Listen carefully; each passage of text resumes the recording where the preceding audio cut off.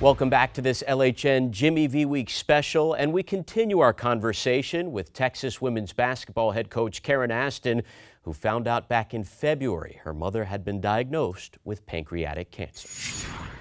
With that situation going on in your personal life, uh, does basketball become an escape, uh, a, a, relief? You get to get away for a little bit, and uh, what's going through your mind when you step back on the court, ready to coach your team? Especially, you said getting ready for the NCAA tournament. Yeah.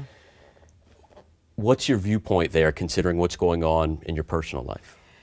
Oh, you know, it was a real learning experience for me because basketball has been has been my outlet my whole life, and you know, I say this all the time, and wholeheartedly, it saved me um, from a lot of probably bad decisions as I was growing up. Um,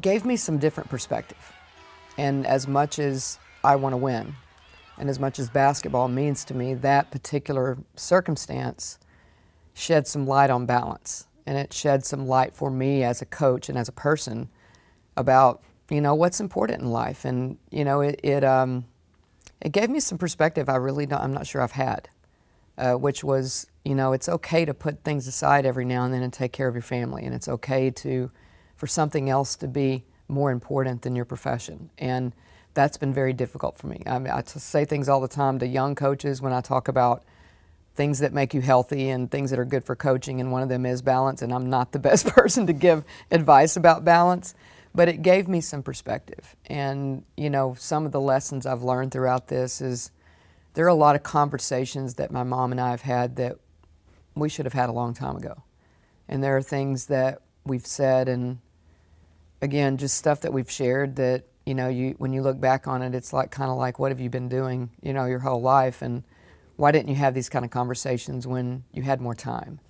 Um, so it's a blessing. I mean, it, it, could have been three months, it could have been one month, and the blessing of all of this is I've seen her really fight, and I've learned about the disease. Uh, I've learned that it's not the end of the world, and that there are so many. I mean, I'm so so thankful for the research that's being done.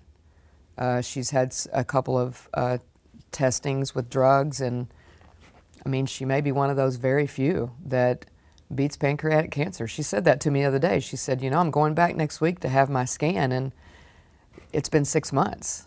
And I may be one of those few percentages that beat it. And I'm like, Well, mom, it wouldn't surprise me because uh, you're tough. And, uh, you know, we laughed about it because it's been, she's gotten three more months to really enjoy things. And I mean, she's coming up here to spend Thanksgiving and she can't wait. She's driving to Mississippi State to watch that game. And um, it's amazing that she's got a chance to see our team play another season and spend some time with me. The doctors gave her originally three months. Like you said, mm-hmm. it, it has already been six months. What are the doctors saying now?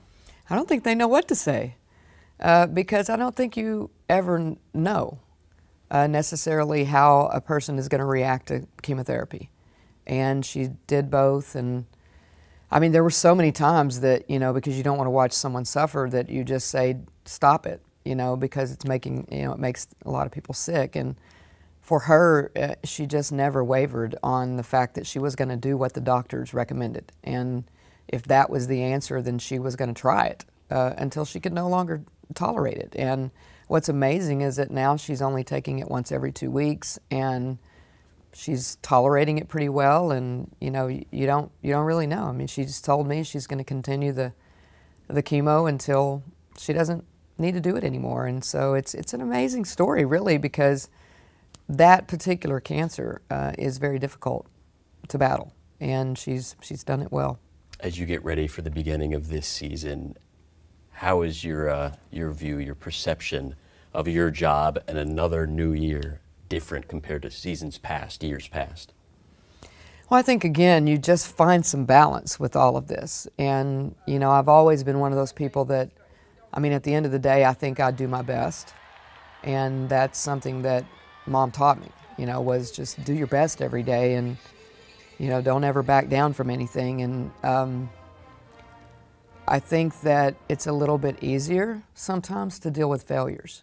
And that's been a difficult thing for me because I don't like to fail.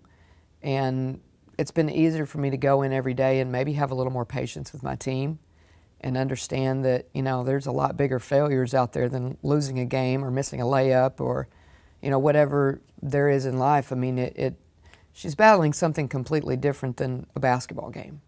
So I think it, it, it puts things in perspective and I think shows me the way in case I ever have to deal with it again. I mean, there, there's two ways that she could have looked at it. You know, she could have checked out. And it's all related to, sports is related to life. I tell our kids all the time, you, know, you, either, you either get over this if it's a failure and you move on, or you wallow around in self-pity if something goes wrong. And that's a perfect example of it. Uh, it's a life example of I could give up or I could continue to fight this until I can't do it anymore. So again, perspective is a big thing, and um, we all find it at different times in life, uh, but it's been a good time for me to find it. We appreciate you sharing your story with us, Coach. Thank you. And Karen Aston's squad will take part in the Jimmy V Classic on Sunday as Texas faces UConn at 3 p.m. on ESPN. For more on the V Foundation, be sure to go to jimmyv.org. I'm Alex Loeb. Thanks for watching.